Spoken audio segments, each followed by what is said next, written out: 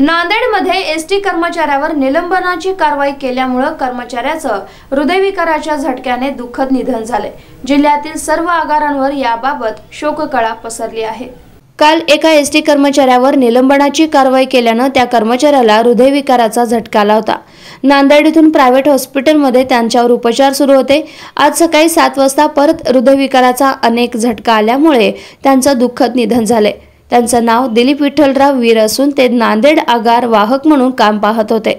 अनिल परब यांनी कृती समितीला प्रचारक केलं असता ते काय निर्णय देतील या धसक्यानंच त्यांचा हृदयविकाराचा झटका त्यांना आला असल्याचं बोललं जात आहे हा आरोप कर्मचाऱ्यांनी केला असून नांदेड जिल्ह्यातील सर्व आगारांवर शोककळा पसरली आहे. सकाळी साडेआठ वाजता आमचे कर्मचारी बंधू दिलीप विठ्ठलराव वीर यांना काल हृदयविकाराचा झटका आला. काल सा साडेआठ वाजता त्यांनी आमच्या दुखोट्याच्या ठिकाणी काल आले होते. त्या टाईमला सकाळी कृती समितीला जे प परिवहन साहेबांनी जे बोलवलेलं आहे त्यांनी काय निर्णय देतील या टेन्शनमुळे त्यांना हृदयविकाराचा झटका आला आणि त्यांच्यावर उपचार चालू असताना आज सकाळी सात वाजता त्यांचा दुःखद अंत झालेला आहे.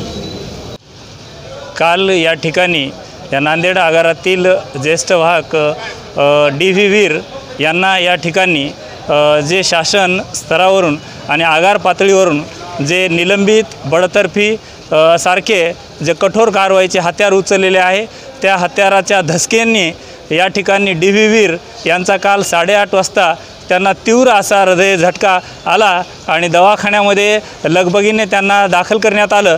परंतु त्यांनी या प्रशासन आणि एस टी शासनाचा एवढा त्यांनी धसका घेतला होता की आता निलंबन झालं तर पुढची कारवाई काय? कारण अशा त्यांची जी खलबतं वरचेवर जे शिजत आहेत त्याचाच एक परिपाक म्हणून आमचे आगारातील वाघ श्री डी व्ही वीर यांनी धसका घेतलेला आहे त्याच्या कारवाईचा आणि त्यामुळे त्यांना त्या ठिकाणी काल हृदयचा झटका आला आणि त्यांचा या ठिकाणी असा दुर्दैवी या ठिकाणी असा दवाखान्यामध्ये त्या तीव्र झटक्यामुळे त्यांचा या ठिकाणी आज सकाळी सात वाजता सूत्रानुसार आलेल्या माहितीनुसार त्यांचं या ठिकाणी निधन झालेले आहे.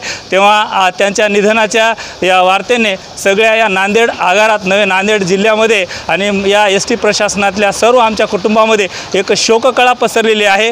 ब्युरो रिपोर्ट एसबेन मराठी.